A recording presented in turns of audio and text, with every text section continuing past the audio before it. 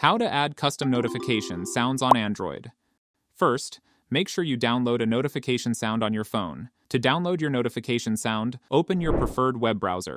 In the search bar, search for the notification sound. From the search results, click on the site named Pixabay.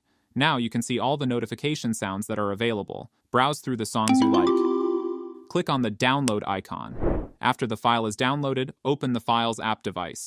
Click on the downloads.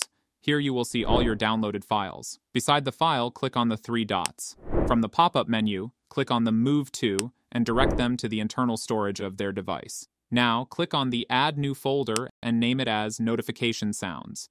Then click on Move Here, go back to the home screen, and open the Settings app. Scroll down and tap on Sound and Vibration. Here, tap on Notification Ringtone.